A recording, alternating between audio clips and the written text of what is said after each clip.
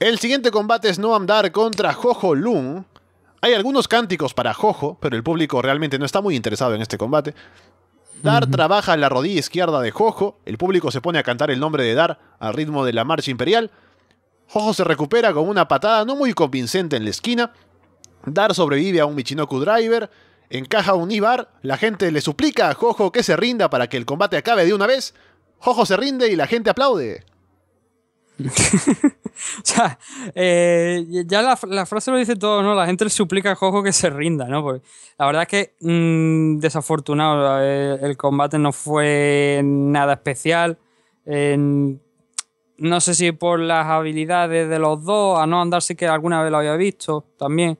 Eh, un que, bueno, em, creo que había alguna historia por aquí, no sé, es que no me quiero equivocar, la verdad, pero Noan sí que estuvo en algún show de aquí de, en España, en algún show de Eurelin aquí que realizó la RCW y creo que en el combate que un combate que tuvo creo que no llegó a dar lo máximo porque ya se le había comunicado que iba a perder y entonces no creo que no, no llegó a dar. Pero digo no que no lo toméis a los oyentes al pie de la letra porque no lo recuerdo exactamente pero me suena que fue así fue hace ya muchos años sí que no recuerdo bien la historia pero creo que fue algo así y sin embargo aquí pues bueno mm, la verdad es que tampoco nada brillante Jojo Lun pues quizás el luchador más desconocido ¿no? de todos los que había en, en, el torneo.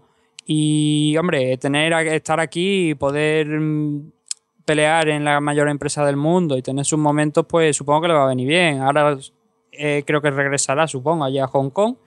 Eh, mm, creo que lo he visto también. Ah, no sé si ha sido Ah, no me acuerdo dónde estaba Gatomu, es una compañía de. Ay, no, no me acuerdo, tío. De si era de Tailandia o de Filipinas. Creo que es de Tailandia, me parece. Es la empresa de Misakura, una, una luchadora japonesa. Y creo que alguna vez ha estado por allí eh, también Jojolun.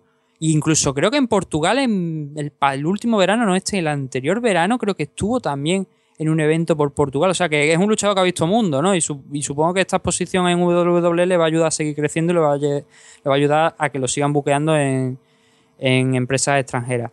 Y no andar, la verdad es que no creo, no le veo mucho futuro demasiado en la en el torneo y en WWE la verdad es que no, creo que no tiene demasiado nada especial que pueda llamar la atención del público.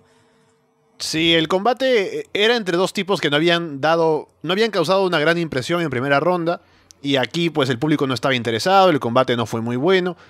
Y lo curioso es que avanza Noam Dar a los cuartos de final sin haber ofrecido mucho. Y hay mm. gente que se queda en el camino como Jack Gallagher o Cedric Alexander, ¿no? Pero bueno, ahí está. sí, no, las llaves. Sí, no, es eso, ¿no? Lo comentábamos, por ejemplo, en la, en la Bushiroka, en la Super JK, ¿no? La edición de este año, que había combates en primera ronda que igual no habían sido los mejores desde el punto de vista de dejar pasar luchadores que podían tener algo más que ofrecer. Y ese, quizás ese Cedric Alexander contra Kota Ibushi, ¿no? que tú has hablado antes, pues Cedric Alexander hubiese sido más interesante ponerlo en otra parte del cuadro y que ese enfrentamiento contra Kota Ibushi pues se hubiera dado en una ronda más adelante, ¿no? Pero bueno, es eso, ¿no? Lo que hemos dicho. Son al final son las llaves, son las eliminatorias del torneo lo que, lo que está erróneo, lo que. Eh, bueno, no que está erróneo, sino que no consideramos de acuerdo.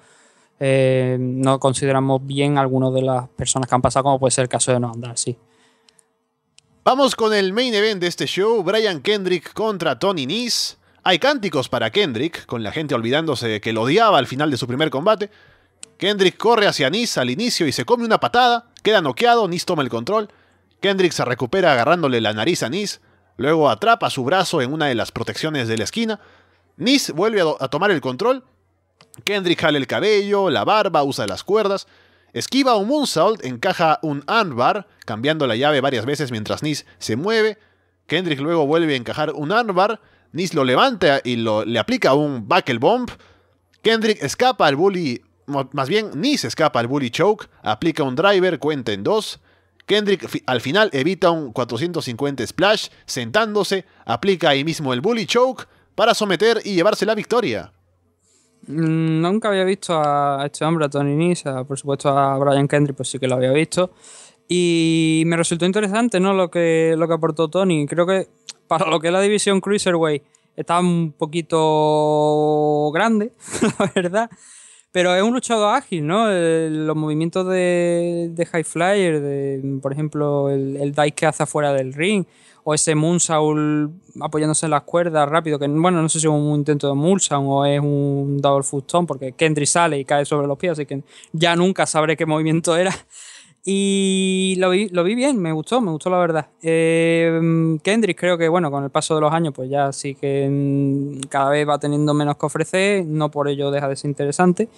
Eh, sí que creo, no sé si en las últimas actuaciones que habrá tenido antes de esto, mm, de entrar al torneo me refiero, eh, es, su estilo, es el estilo que ha estado llevando, pero sí que nos recordaba esto en, Brian Kendry. De sí, ahora creo que se, ha planteado eh, entrar a este torneo y para ser alguien distinto dentro de todos, se ha planteado hacer poco y más bien hacer mucha trampa y querer ganar a como dé lugar, sabiendo que ahora no tiene tanta agilidad como los demás. Y me gusta mucho cómo lleva el personaje y además mm. sus combates han sido buenos, los dos que ha tenido. Y se nota que pues está trabajando para venderte más esa historia, ¿no? De que gana porque es un tipo con experiencia y que sabe los trucos y sabe lo que, lo que está sucediendo dentro del ring. Sí, no, estoy, totalmente de acuerdo, la verdad, con lo que acabas de decir.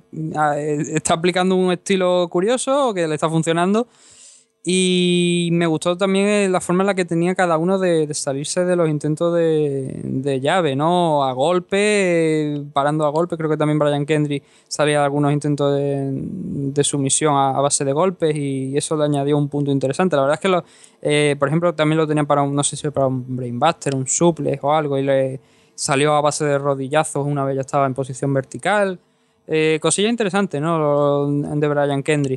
Eh, lo que sí, igual, teniendo en cuenta, poniendo en la balanza, ¿no? Lo que hicieron cada uno, lo que hizo cada uno en el combate, igual Tony Nick creo que podría haber pasado de ronda.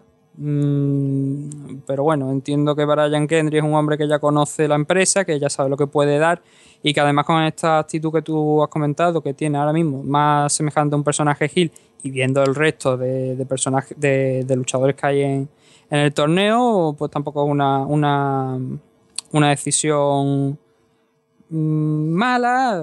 Creo que puede ser interesante. Además, por lo que leo, por lo que estoy leyendo, se va a enfrentar a Kotebushi. Así que mm, vamos a ver qué es lo que pueden hacer entre ambos. Supongo que saldrá algo interesante. Lo que, lo que pasa es que tengo mi duda, ¿no? Porque ahora Ibushi sí que va a enfrentar con, se va a enfrentar a alguien que ha pasado tiempo en WWE, también ha pasado tiempo fuera, pero um, vamos a ver qué se combate.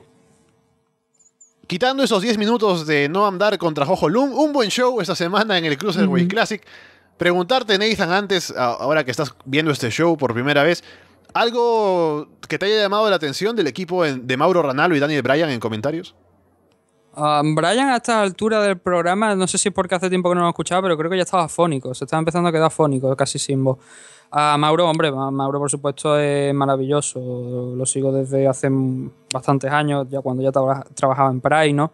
Y siempre ha sido uno de los mejores comentaristas de, deporte, de contacto, o bien sea MMA, o bien te lo pongan aquí en Pro Wrestling, creo que vale para todo.